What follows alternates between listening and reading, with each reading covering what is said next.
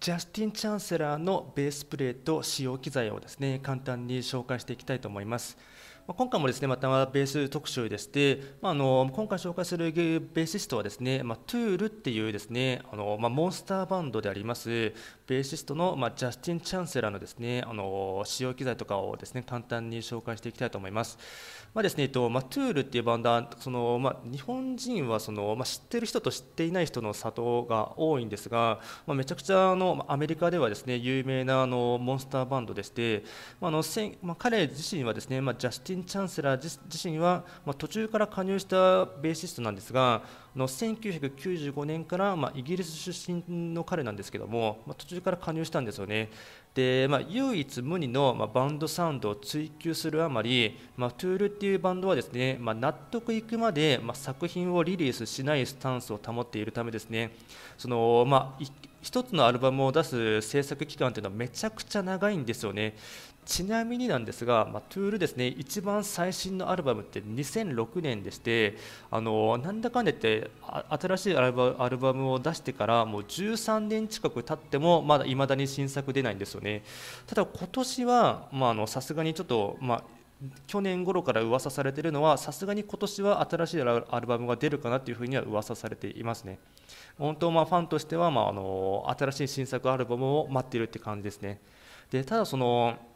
まあ、ツールですねあの、まあ、バンドが醸し出す音楽の世界観とあとレベルの高いライブパフォーマンスで、まあ、世界中で多くのファンを魅了しているんですよね。まあ、今回はま独特の音楽センスで、まあ、まりベーシストっぽくないフレーズをま得意としている、まジャスティン・チャンセラーのですね、まベースプレート使用機材をですね簡単に紹介していきます。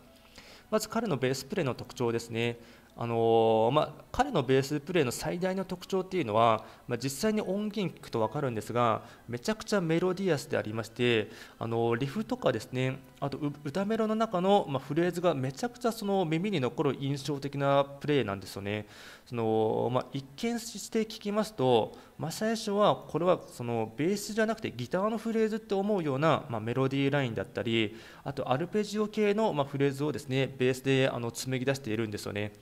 でピッキングを基本、まあ、ピッキング引きを基本として、まあ、複雑な変拍子をですね活用した壮大な曲の展開というのをめちゃくちゃあの、まあ、トゥール版自体は得意としているんですがそのまあ、バンド自体がですね、まあ、極端な、まあ、メディア嫌いとして有名でして特にその、まあ、ジャスティン本人がインタビューなどに受け答えすることってほとんどないので、まあ、かなり、まあ、ベールに包まれている包まれている、まあ、あのミュージシャンの一人ですね。で使用機材ですね、えっとまあ、ジャスティン・チャンセラーの、まあ、ベーステックの人がですねあの機材を紹介している添付があのありましたので、こちら一応添付しておきます。ただですね、とあまり情報がなくてですね、そのまあ、ベースに関してはですね、ちょっと読み方何て読むかなのか分かんないんですが、まあ、Y って読むんですかねっていういうあ,、まあ、あまり見かけないブランドのベースを使っているようですね。でアンプもこれまた情報が少ないんですが、まあ、おそらくまあメッサブギーを使っているかなっていう印象ですね。でエフェクターに関しましては、まあ、あのギタリストのように、まあ、全て、まあ、コンパクトエフェクターで本当たくさん使用していますね。でおそらく聞いてる限りだとモジュレーション系のあの、まあ、エフェクターが多いかなっていう印象ですね。で最後にベースのフレーズがかっこいい、まあ、の曲をですね1曲紹介しますが Foxy 46&2 っていう曲ですね、まあ、これがプロモーションビデオなんですけどもあのまあ、曲の世界観を、まあ、映像で表現しているバンドの、まあ、プロモーションビデオなんですが、まあ、見ていただくと分かると思うんですが、まあ、毎回本人たちって PV には出てこないんですよね。でまあ、こんな感じの、まあ、世界観を表現する映像を作っていますので、まあ、ていうんですかね、まあ、あの言ってしまうとですねあまり MTV 向けしないようなですねその内容なんですよね、まあ、映像がえぐいというかですねあの、まあ、結構不思議な世界観なのでで曲としてはですね、まあそのまあ、冒頭のギターっぽいフレーズなんですが実はこれがベースの音で作ってるって感じなんですよね。で変拍子を使って、まあ、後半にかけての、まあ、楽器隊全員のですね盛り上げ方っていうのはめちゃくちゃかっこいいですね。